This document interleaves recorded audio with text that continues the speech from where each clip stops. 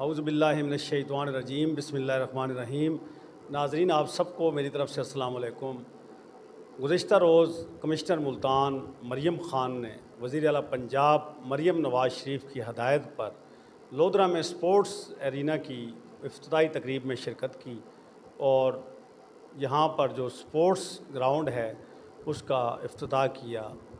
ये वही जगह है जहाँ माजी में ज़िले असम्बली के इजलास भी हुआ करते थे। और यहाँ पर स्पोर्ट्स के हवाले से काफ़ी काम हो रहा था। तो खैर, हुकूमत ने इसको एरिना स्पोर्ट्स का नाम दे दिया और अफ्ताही तकरीब हुई और उस पर मेरे ख़्याल में तीस लाख रुपए के करीब अमाउंट भी खर्च की गई। अब देखें ये कितना अर्सा स्पोर्ट्स ग्राउंड चलता है और यहाँ पर आंदा सफ़ाई के हवाले से क्या इकदाम किए जाते हैं, वो तो वक्त ही बताएगा।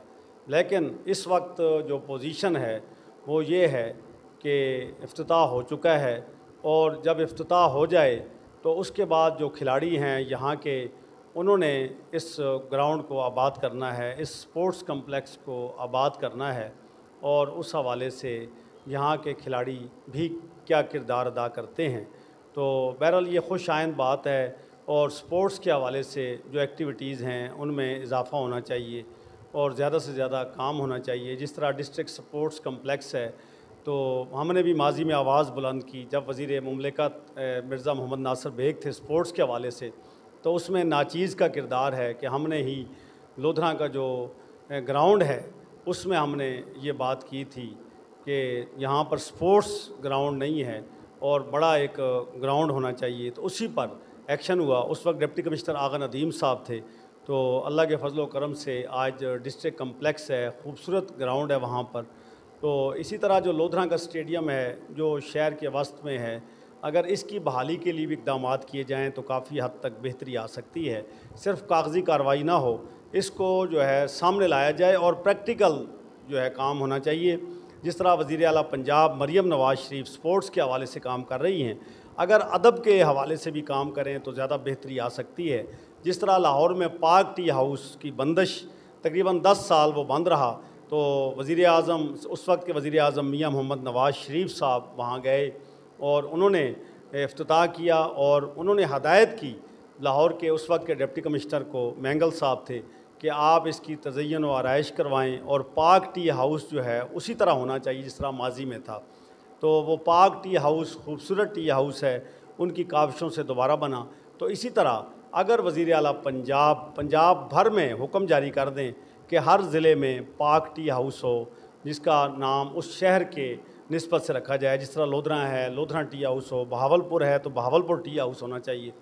टी हाउस बनाए जाएँ, ताकि जो शायर दानश्वर हैं, उनको मुश्किल का सामना ना करना पड़े। तो इसी तरह लोधरा में नेशनल प्रेस क्लब लोधरा एक रजिस्टर्ड क्लब है और अरसा बीस साल से काम कर रहा है। लेकिन इसकी अभी तक बिल्डिंग नहीं है, रकबा नहीं है।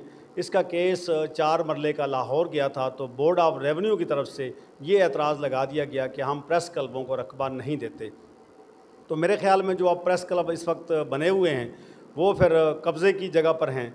क्योंकि जब हुकूमत ने एतराज़ लगा दिया, बोर्ड ऑफ़ रेवन्यू ने एतराज़ लगा दिया कि हम प्रेस क्लबों को जगह नहीं देते। और जब वो एतराज़ लगा है तो उसके बाद हमने डिप्टी कमिश्नर साहब से दो दफ़ा बात की, लेकिन अभी तक कोई मसला हल ना हुआ। तो मैं लोधरा के डिप्टी कमिश्नर जो हैं, उनसे भी गुजारिश करता हूँ और वज़ी अला पंजाब मरीम नवाज़ शरीफ साहबा से भी कि नेशनल प्रेस क्लब लोधरा के लिए फ़ंड्स भी दें और हमें खूबसूरत बिल्डिंग बना कर दी जाए। लोधरा में काफ़ी जगह खाली पड़ी है और कब्ज़ा माफिया छाया हुआ है। तो जो सरकारी रकबा पड़ा हुआ है इस पर भी कल को कब्ज़ा हो जाएगा। तो बेहतर है कि एक इदारे को दे दी जाए। नेशनल प्रेस क्लब इस वक्त मजलूम आवाम की खिदमत के लिए कोशा है। हकूमती मसाइल, जो हकूमती पॉलिसियाँ हैं, उनको उजागर कर रहा है और अवामी मसाइल को उजागर कर रहा है। इसके साथ साथ जो वर्किंग जर्नलिस्ट हैं, जो वर्किंग सहाफ़ी हैं, उनकी फ़लाह बहबूद के लिए भी काम कर रहा है। तो मैं एक बार फिर वज़ी अला पंजाब से गुजारिश करता हूँ कि नेशनल प्रेस क्लब लोधरा के लिए जगह दी जाए और ख़ूबसूरत बिल्डिंग बनाने का हुक्म जारी किया जाए।